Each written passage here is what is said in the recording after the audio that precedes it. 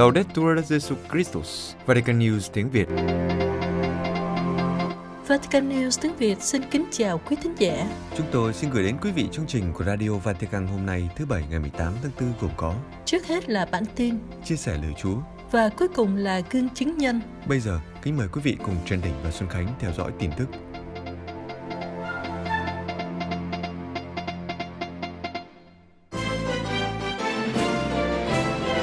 Bản tin hôm nay gồm các nội dung chính sau đây. Thánh lễ tại nhà nguyện Thánh Marta, Đức Thánh Cha Francisco, một giáo hội lý tưởng là một giáo hội với dân chúng. Truyền hình trực tiếp lễ lòng Chúa thương xót do Đức Thánh Cha Francisco cử hành. Các nhà báo công giáo, lính bộ binh của giáo hội. Đức Bình Đức 16 tròn 93 tuổi và ngày cầu nguyện cho các bệnh nhân COVID-19. Vatican, sáng thứ Sáu tại nhà nguyện Thánh Marta, Đức Thánh Cha Francisco đã dâng thánh lễ với ý chỉ cầu nguyện cho các bà mẹ đang mang thai. Đức Thánh Cha nói, Hôm nay, tôi muốn chúng ta cầu nguyện cho các phụ nữ đang mang thai. Họ đang lo lắng và tự hỏi, con tôi sẽ sống trong một thế giới như thế nào? Chúng ta cùng cầu xin Chúa cho các bà mẹ được có lòng can đảm đưa con cái mình tiến về phía trước với sự tin tưởng rằng sẽ có một thế giới khác, một thế giới mà Chúa sẽ yêu thương rất nhiều. Trong bài giảng thánh lễ, Đức Thánh Cha tập trung vào bài tin mừng nói về cuộc gặp gỡ thứ ba của Chúa Giêsu với các môn đệ sau khi phục sinh. Đó là mẹ cá lạ lần thứ hai. Và về Chúa Giêsu, đấng đã tỏ mình với các môn đệ bằng cách dùng bữa chung với họ và không ai dám hỏi ông là ai, vì các ông biết đó là Chúa. Đức Thánh Cha so sánh bài tin mừng hôm nay với đoạn tin mừng theo Thánh Luca trường thứ năm. Cả hai đều thuật lại mẻ cá lạ, nhưng trong tin mừng Thánh Luca, các môn đệ kinh ngạc về số lượng cá các ông lưới được. Còn ở đây, Thánh Gioan không nói đến sự kinh ngạc của các môn đệ, nhưng nói đến một điều rất tự nhiên. Và về điều này, Đức Thánh Cha nhận xét, chúng ta nhận thấy có một sự tiến triển, một hành trình trong sự hiểu biết Chúa của các môn đệ. Đó là tình thân, tình gia đình với Chúa. Chúng ta cũng vậy, là Kitô hữu, mỗi ngày chúng ta được mời gọi tiến gần hơn, sống tình thân mật với Chúa. Đức Thánh Cha lưu ý rằng, sự thân tình với Chúa luôn luôn mang tính tập thể, thân thiết, cá nhân và một cộng đoàn và Đức Thánh Cha khẳng định tình thân mà không có cộng đoàn, bánh ăn, giáo hội, dân chúng và các bí tích thì thật nguy hiểm. Nó có thể trở thành một sự thân thiện ngộ đạo, một tình thân chỉ cho cá nhân, cho chính mình, tách chúng ta ra khỏi dân Chúa. Thực tế, tình thân của các tông đồ với Chúa luôn mang tính cộng đoàn, tại bàn ăn, dấu chỉ của một cộng đoàn và luôn với các bí tích. Liên hệ đến thời điểm đại dịch, Đức Thánh Cha cho rằng Hiện nay tất cả chúng ta đều giao tiếp với nhau và ngay cả về tôn giáo qua các phương tiện truyền thông. Nhưng về mặt tinh thần, chúng ta không giao tiếp với nhau. Chúng ta ở với nhau, nhưng thực ra chúng ta không sống với nhau. Vì thực tế, theo Đức Thánh Cha, những người đang cùng tham dự thánh lễ với Đức Thánh Cha được hiệp thông một cách thực sự, được rước Chúa thực sự, nhưng đối với những ai đang tham dự thánh lễ qua các phương tiện truyền thông chỉ là rước lễ thiêng liêng. Đức Thánh Cha nói, đây không phải là giáo hội, một xã hội lý tưởng là một xã hội với dân chúng và với các bí tích. Đức Thánh Cha cũng nói rõ, đúng là tại thời điểm này chúng ta phải sống tỉnh thân với Chúa theo cách này, nhưng sau này không được như vậy. Tỉnh thân với Chúa phải được thể hiện trong cuộc sống hàng ngày, trong các bí tích và ở giữa dân Chúa. Kết thúc bài giảng, Đức Thánh Cha trở lại với các tông đồ. Ngài nói, các tông đồ đã thực hiện một hành trình trưởng thành trong tỉnh thân với Chúa và các ông hiểu rằng tình thân này khác với những gì các ông đã tưởng tượng. Chúng ta cùng cầu xin Chúa dạy chúng ta sống tình thân này với Ngài trong giáo hội và với các bí tích, với dân thánh trung thành của Chúa. Vatican, Chúa Nhật 19 tháng 4 ngày mai, kính trọng thể lòng Chúa thương xót. Đức Thánh Cha Francisco sẽ chủ sự thánh lễ tại nhà thờ Chúa Thánh Thần ở Sassia, trung tâm lòng Chúa thương xót của giáo phận Roma. Vatican News tiếng Việt sẽ truyền hình trực tiếp thánh lễ này. Theo thông báo của phòng báo chí Tòa Thánh, vào lúc 11 giờ sáng Chủ nhật giờ Roma, tức là 16 giờ Việt Nam ngày 19 tháng 4, Đức Thánh Cha Francisco sẽ trở lại nhà thờ, nơi cách đây 25 năm Thánh Giáo Hoàng Gioan Phaolô II đã cử hành thánh lễ kính lòng Chúa thương xót. Vào ngày 23 tháng 4 năm 1995, tại nhà thờ Chúa Thánh Thần ở Sassia, Thánh Gioan Phaolô II đã cử hành thánh lễ lòng Chúa thương xót. Kết thúc thánh lễ, Ngài đã làm phép bức ảnh Chúa Giêsu thương xót được tôn kính trong nhà thờ này. và sau đó ngày 30 tháng 4 năm 2000, dịp năm thánh, Ngài đã tôn phong nữ tu Faustina lên bậc hiển thánh và chính thức thiết lập và ấn định ngày lễ kính lòng thương xót Chúa dựa theo yêu cầu của Chúa Giêsu với Thánh Faustina Kowalska. Lễ được cử hành vào Chủ nhật thứ hai phục sinh trong toàn giáo hội công giáo. Kể từ đó, việc sùng kính lòng Chúa thương xót phát triển sâu rộng trên khắp giáo hội hoàn vũ. Năm năm sau ngày thiết lập lễ lòng Chúa thương xót, Thánh Gioan Phaolô II đã ban ơn toàn xá cho những ai tham dự thánh lễ này và đồng thời thực hành các điều kiện thông thường như xưng tội, rước lễ và cầu nguyện theo ý Đức Giáo Hoàng. Như vậy, năm nay kỷ niệm 25 năm lễ lòng Chúa thương xót được thiết lập vào Chúa nhật thứ hai phục sinh. Đức Thánh Cha Francisco sẽ cử hành thánh lễ lòng Chúa thương xót và sau đó Ngài sẽ chủ sự buổi đọc kinh lạy nữ vương tại nhà thờ Chúa Thánh Thần, cách quảng trường Thánh Vero khoảng 5 phút đi bộ. Tây Ban Nha Trong thời điểm đại dịch, đối với giáo hội, vai trò của các nhà báo rất quan trọng. Chính vì thế, giáo hội Tây Ban Nha và Malawi đã gửi sứ điệp và tổ chức những buổi đào tạo để giúp các nhà báo công giáo ý thức được vai trò của họ, đặc biệt trong thời gian này. Các nhà báo được xem như lính bộ binh của giáo hội Tại Tây Ban Nha, các giám mục của Ủy ban Giám mục về truyền thông xã hội đã gửi một sứ điệp với tựa đề Các nhà truyền thông đảm bảo hy vọng trước đại dịch COVID-19. Với sứ điệp này, các giám mục nhìn nhận và ủng hộ công việc của các nhà báo trong trường hợp khẩn cấp về sức khỏe. Các giám mục viết, Chúng tôi muốn nhấn mạnh vai trò của các hãng truyền thông và công tác xã hội mà anh chị em, các nhà báo, phóng viên và các nhà truyền thông đang thực hiện trong thời điểm đại dịch này. Công việc của anh chị em giúp rút ngắn khoảng cách địa lý và xã hội, anh chị em đang mở cánh cửa cho hy vọng và tương lai. Anh chị em đang làm cho mọi người biết các sáng kiến của tỉnh liên đới và anh chị em đang cung cấp cho những người đang phải cách ly tại nhà nhiều khả năng kết nối với thế giới và phát triển phẩm cách. Các dân mục cũng viết tiếp. Trong thời điểm khó khăn này, các phương tiện truyền thông cho phép chúng ta biết những gì đang diễn ra với tất cả sắc thái và tính phức tạp của nó. Phương tiện truyền thông giúp phổ biến các chỉ dẫn của các cơ quan có thẩm quyền và góp phần phủ nhận những tin giả và những trò lừa bịp có thể dẫn đến sự lo lắng, tuyệt vọng hoặc rối loạn. Đây là một dịch vụ cần thiết cho một xã hội yêu tự do và sự thật. Đồng thời, truyền thông cũng cho phép chúng ta thoát khỏi thói quen hạn hẹp hàng ngày nhờ các chương trình giải trí, phim ảnh và âm nhạc, cũng như nhờ những điều tốt đẹp của nhân loại, nghệ thuật và văn hóa. Nếu không có những điều này thì sự cách ly sẽ còn tồi tệ hơn. Các giám mục mời gọi những ai đang hoạt động trong lĩnh vực truyền thông đừng mệt mỏi trong hoàn cảnh đen tối này, nhưng tiếp tục là những người đem lại sự thật và hy vọng trong tất cả những gì họ đang thực hiện để tin tức và các chương trình chạm đến tâm hồn của những ai đang đau khổ, giúp họ nhận thức được thực tế rằng khi niềm tin của các dân tộc chết đi thì các nền văn hóa biến mất. Cũng liên quan đến vai trò của các nhà truyền thông trong thời điểm đại dịch, hôm 11 tháng 4, tại một buổi huấn luyện về COVID-19 ở Lilongwe dành cho các nhà báo công giáo, các giám mục Malawi đã nói các nhà báo như là lính bộ binh của xã hội, nghĩa là những người dấn thân trong sứ vụ loan truyền những tin tức đúng, cụ thể và đáng tin cậy, tránh đưa ra những tin tức làm cho mọi người hốt hoảng không cần thiết. Buổi huấn luyện do Hiệp hội các nhà báo công giáo địa phương tổ chức và được sự hỗ trợ của Hội đồng giám mục Ireland.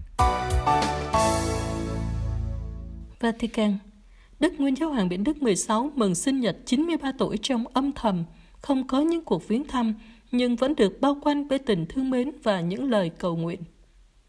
Hôm 16 tháng 4 vừa qua, Đức Biển Đức 16 tròn 93 tuổi. Đức Tổng giám mục Georg Genswein, Chủ tịch Phụ Giáo hoàng và cũng là thư ký riêng của Đức Nguyên Giáo hoàng Biển Đức 16, nói với Vatican News rằng do các biện pháp chống lây nhiễm, Đức Biển Đức 16 không tiếp khách đến thăm tại Đan viện Mẹ Giáo hội ở nội thành Vatican, nơi Ngài sống từ 7 năm nay sau khi từ nhiệm. Tuy thế, Đức Nguyên Giáo Hoàng nhận được rất nhiều cuộc điện thoại chúc mừng, đặc biệt là của Đức ông Georg, bào huynh của Ngài. Ngài cũng nhận được rất nhiều lời chúc mừng gửi qua thư bưu điện và email. Theo Đức Tổng giám mục Genswein, Đức Biển Đức được thông báo liên tục về tình hình đại dịch và Ngài cầu nguyện hàng ngày cho các bệnh nhân và cho những người bị ảnh hưởng bởi virus. Đức Nguyên Giáo Hoàng chia sẻ đau khổ này bằng sự quan tâm lo lắng nhưng không thất vọng. Đức Nguyên Giáo Hoàng bắt đầu ngày sinh nhật với thánh lễ trọng thể hơn thường ngày, tiếp sau đó là những thời gian cầu nguyện và đọc sách, và có cả những lúc nghe các bài hát đặc trưng của miền Bavaria, quê hương của Ngài. Đặc biệt là món quà Ngài nhận được sáng ngày 16 tháng 4, một bộ tiểu sử được nhà báo người Đức Peter Sivan viết, sẽ được phát hành vào ngày mùng 4 tháng 5 tới đây. Đức cha Genswein nói, ban đầu ông Sivan dự định đích thân trao nó cho Đức Nguyên Giáo Hoàng trong những ngày này, nhưng thật không may do đại dịch nên ông không thể thực hiện điều này. Cuốn tiểu sử Biển Đức 16, Một cuộc đời do tác giả Sivan biên soạn sẽ được nhà xuất bản Romer Knau xuất bản. Nhà báo Sivan đã xuất bản một số sách có nội dung phỏng vấn Đức Nguyên Giáo hoàng Biển Đức, trong đó những sách bán chạy nhất là Ánh sáng thế gian và những cuộc trò chuyện cuối cùng. Ngày 19 tháng 4 năm 2020, kỷ niệm 15 năm Đức Biển Đức được bầu chọn làm giáo hoàng, kế vị thánh Gioan Phaolô II. Tây Ban Nha, một nhóm các doanh nhân ở Tây Ban Nha đã cùng nhau đưa ra sáng kiến Tu Clausura Mi Clausura để giúp đỡ và hỗ trợ cho các cộng đoàn dòng chiêm niệm không thể tự chu cấp cho cuộc sống vì đại dịch COVID-19. Sáng kiến có chủ đề Lá phổi của linh hồn, chúng ta cần sự hỗ trợ của bạn hôm nay.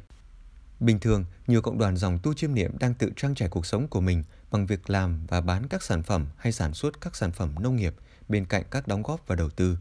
Nhưng khi toàn quốc gia đang ở trong tình trạng cách ly xã hội do sự đe dọa lây lan của virus corona, các cộng đoàn đan tu này không có các khách hàng mua sản phẩm. Nhóm doanh nhân giải thích, một phần ba số nữ tu chiêm niệm sống ở Tây Ban Nha và trong hoàn cảnh hiện tại đang ảnh hưởng nặng nề do việc bán trực tiếp các sản phẩm thủ công của họ bị suy giảm.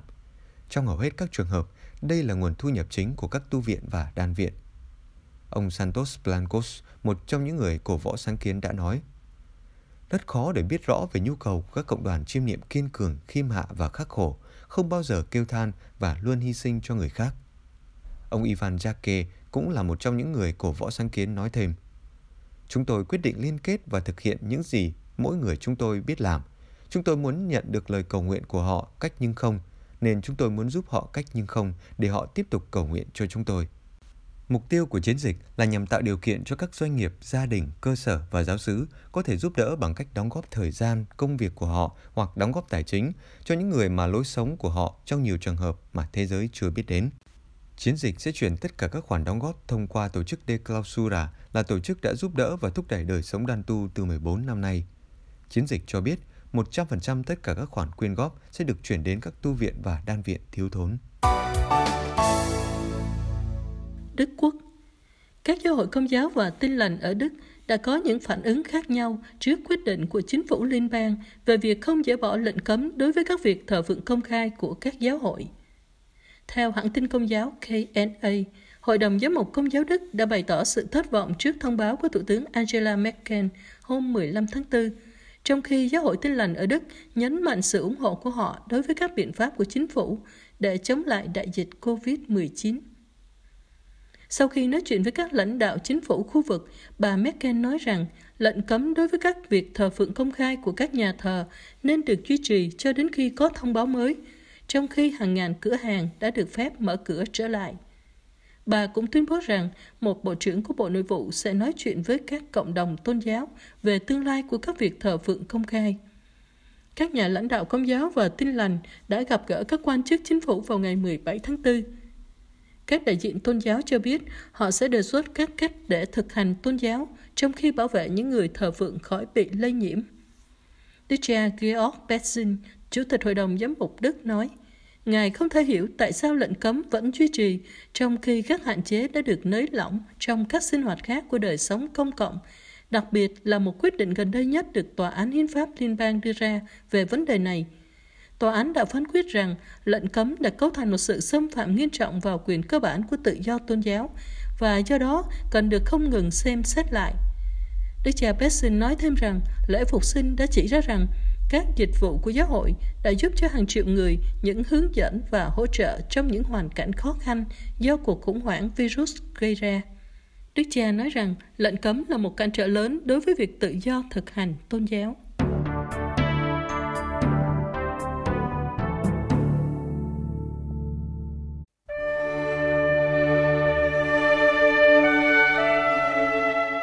Vatican News tiếng Việt Chuyên mục Chia sẻ lời Chúa Cha Giuse Trần Sĩ Nghị chia sẻ lời Chúa Chúa Nhật thứ hai phục sinh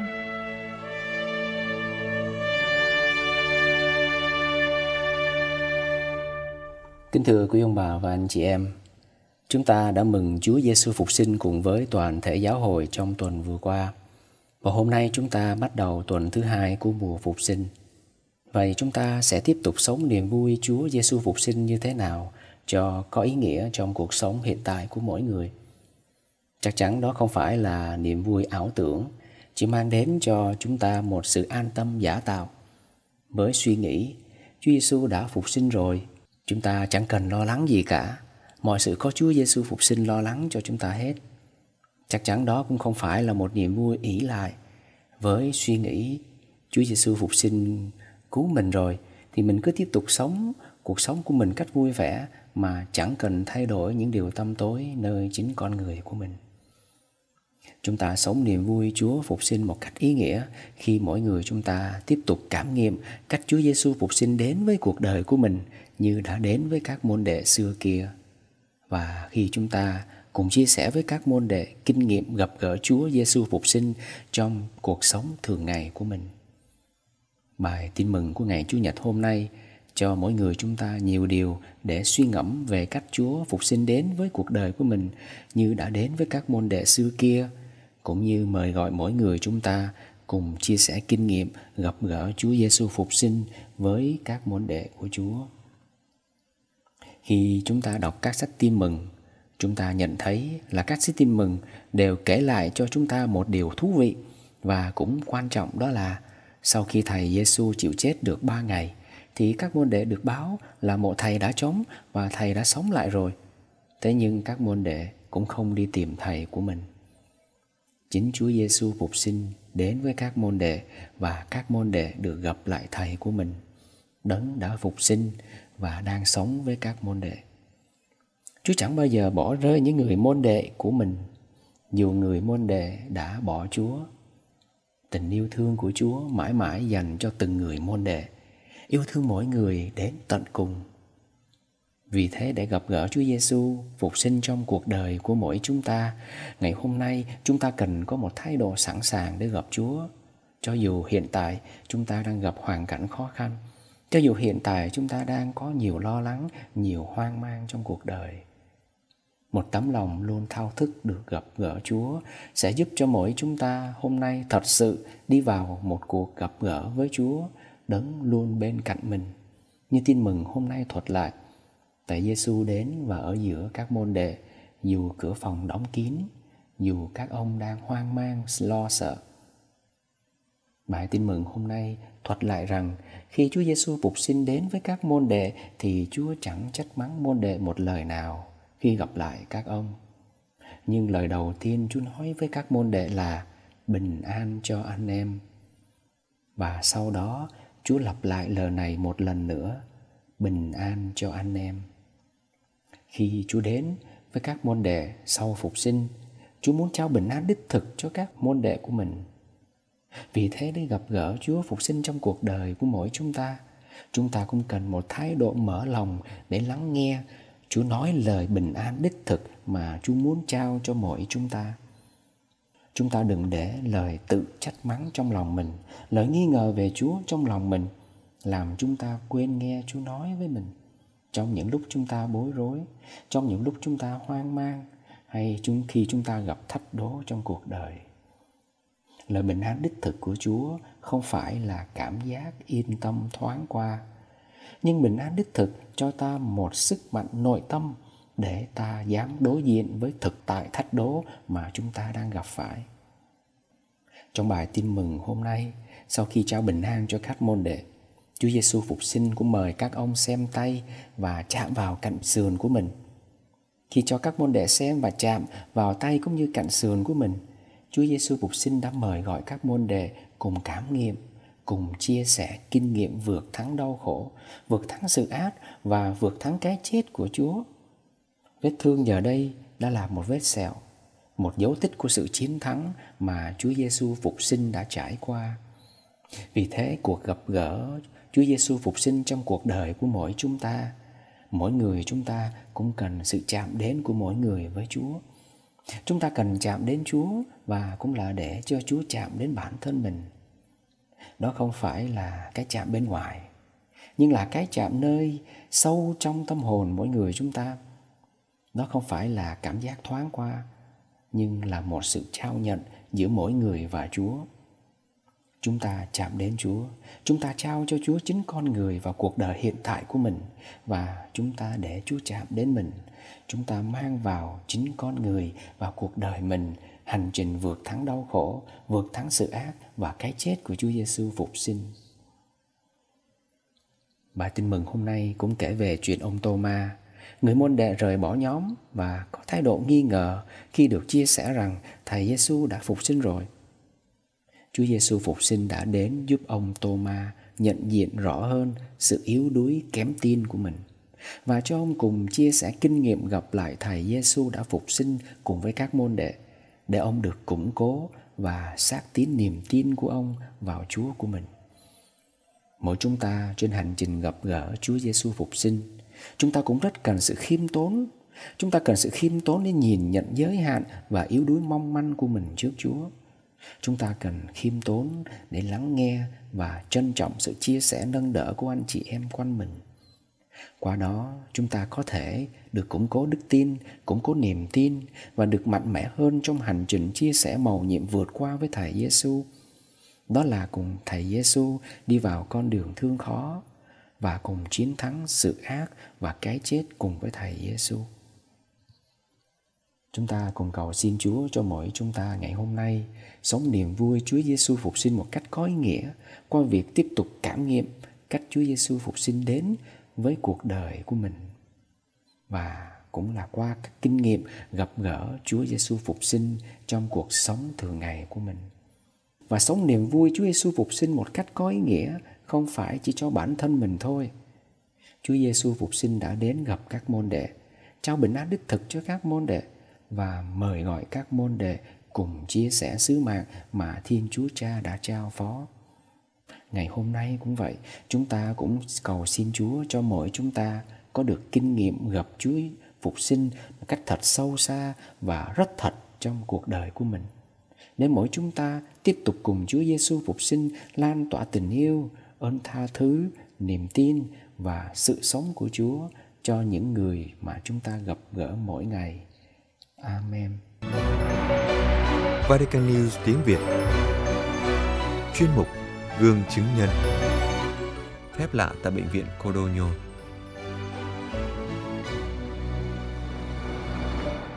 Một trong những bức thư gửi đến Đức Thánh Cha trong những ngày này kể về câu chuyện của cụ bà Joanna, 86 tuổi, với hành trình 7 tuần trong bệnh viện từ khi cấp cứu vì bị bệnh tim rồi bị nhiễm virus. Sau đó là nỗi cô đơn, sự lo lắng của gia đình, những cuộc điện thoại nâng đỡ tinh thần bà, nước mắt và lời cầu nguyện, tất cả là câu chuyện của đức tin và nghị lực.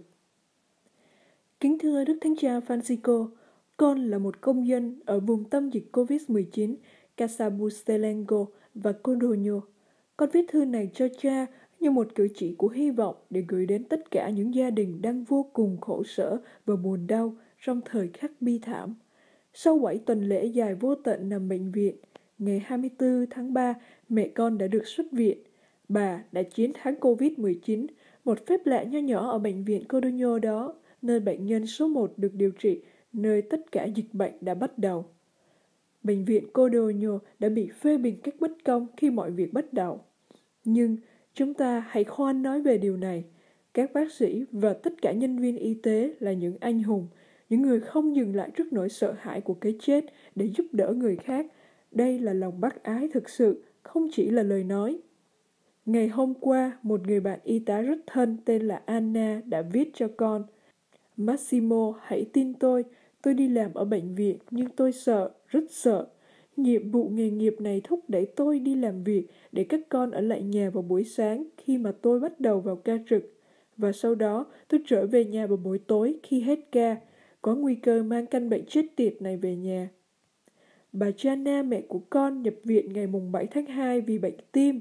Trước hết, bà được đưa đến khoa cấp cứu ở Codogno và sau 3 ngày được theo dõi, chăm sóc, bà được chuyển đến bệnh viện Casale. Đó là lần chuyển viện thứ nhất. Ngày 21 tháng 2, bà sẵn sàng xuất viện, nhưng rồi mọi sự xảy ra không thể kiểm soát được khiến tất cả bệnh nhân phải nằm lại bệnh viện và người thân không được đến thăm nữa. Bắt đầu đường khổ nạn, mẹ Jana của con đã 86 tuổi, hoàn toàn cô đơn, tâm lý khủng hoảng, phải lại trong phòng bệnh, bên cạnh bệnh nhân cùng phòng bị bệnh nặng hơn. Thật không dễ dàng, bao nhiêu người già bị bỏ rơi, không có đủ sức để chiến đấu cho sự sống bởi vì thất vọng, vì cô đơn. Tại sao gia đình tôi không đến để cho tôi thấy tình yêu thương của họ nữa? Tại sao họ bỏ tôi một mình? Một tu huynh ở Bergamo trong những ngày này đã thuật lại bi kịch của hoàn cảnh chết một mình không người thân bên cạnh với đám tang không giống của một Kitô hữu. Ngày mùng 3 tháng 3, sợ hãi, kết quả xét nghiệm COVID-19 không thể thay đổi, dương tính, và mẹ Jana liên lạc với con và người chị họ của con để nói về cái chết. Và cha con, ông Carlo, ở nhà khóc than tuyệt vọng vì tin rằng sẽ không bao giờ thấy lại người bạn đời của ông. Mỗi chiều, con đều đến nhà cha con, cách nhà con hai cây số, có nguy hiểm là mang virus đến cho ông, nhưng con không thể làm khác được. Ngay cả ông cũng đang sống trong khủng hoảng tâm lý. Thật là một hoàn cảnh bi đát. Từ khi đó, con và cháu Francesca gia tăng trị liệu tâm lý từ xa, gọi điện thoại. Cách chữa trị có vẻ hiệu quả từ ngày 21 tháng 2 đó. Cùng với lời cầu nguyện và sức mạnh của Chúa, Francesca và con không nản lòng, năm hay sáu cuộc gọi điện thoại mỗi ngày để nói đủ thứ, để an ủi bà, để nói với bà những điều kỳ diệu, để mỉm cười với cuộc sống và để cùng nhau cầu nguyện. Mẹ Jana không mất tinh thần. Ngày qua ngày, bà than van, nhưng nhờ sự trợ giúp của Chúa, nhờ đức tin và nhờ ba yêu Carlo, nhờ gia đình, bà không ngã lòng. Ngày 12 tháng 3, bệnh viện Casale phải được khử trùng. Người ta quyết định chuyển mẹ Jacca và tất cả bệnh nhân khác đến bệnh viện Codogno. Lần chuyển viện thứ hai. Mẹ như rơi xuống vực thẳm, việc chuyển viện đã hủy diệt bà về tâm lý, bà như bắt đầu lại từ con số 0. Cha của con cũng suy sụp, ông càng tin thêm vững vàng rằng vợ Jana yêu quý của ông sẽ chết. Nhưng không, đừng bao giờ nản lòng, sự sống rất quan trọng. Ngày 13 tháng 3, sáng hôm sau, với trực giác tuyệt vời, bác sĩ Bramini hiểu rằng đã đến lúc phải mạo hiểm với chuyên môn y tế không chính thức. Thường là đạo đức nghề nghiệp của bác sĩ sẽ không cho phép điều đó. Bác sĩ Barmini phá vỡ các quy tắc và hiểu rằng đã đến lúc. Vào ban sáng trong buổi khám thường kỳ, ông nói với mẹ Jana rằng Tốt lắm bà Jana, Bà đã chiến thắng virus, bà là anh hùng. Từ giây phút đó, bầu khí thay đổi. Chúng con luôn cầu nguyện. Thiên Chúa luôn luôn ở gần chúng con. Những ngày cuối cùng bắt đầu cuộc khổ nạn, chờ đợi xét nghiệm kép. Các xét nghiệm COVID-19 bắt đầu giảm tại bệnh viện tuần đó. Thật là một câu chuyện không bao giờ kết thúc. Ngày 19 tháng 3, làm xét nghiệm lần thứ nhất. Ngày hôm sau, kết quả âm tính. Ngày 23 sẽ làm xét nghiệm lần 2, đó là cuối tuần đầy sợ hãi, căng thẳng ở đoạn đường cuối cùng. Trước khi đến kết quả may mắn, cầu nguyện, sợ hãi và những ý tưởng xấu, rồi hy vọng, tất cả xảy ra. Ngày 24 tháng 4, lúc 13 giờ có kết quả cuối cùng. Xét nghiệm âm tính. Ý nghĩ đầu tiên là nghĩ đến Chúa và gia đình. Thật không tin nổi, thật sự đã kết thúc. 15 giờ 30, mẹ Jana ra đến cổng ra. Sau bảy tuần lễ dài như không bao giờ kết thúc, cô y tá không thể kiềm chế nỗi vui mừng, hét lên về phép lạ. Con và cháu Francesca thì vô cùng hạnh phúc. Với lá thư này, con mong muốn cảm ơn tới tất cả bác sĩ và y tá, những đồng nghiệp của họ. Con muốn tạ ơn Chúa đã giúp đỡ và nâng đỡ chúng con trong hành trình này. Con xin Đức Thánh Cha kính mến, giúp chúng con gửi câu chuyện tuyệt vời này đến tất cả và hy vọng rằng nó sẽ nâng đỡ nhiều người.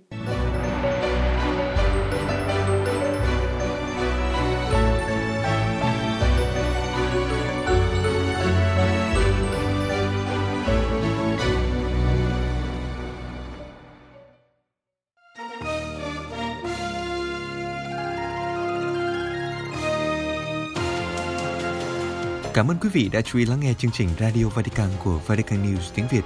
Xin Thiên Chúa chúc lành cho quý vị và toàn gia quyến. Laudetur Jesu Christus, ngợi khen Chúa Giêsu Kitô.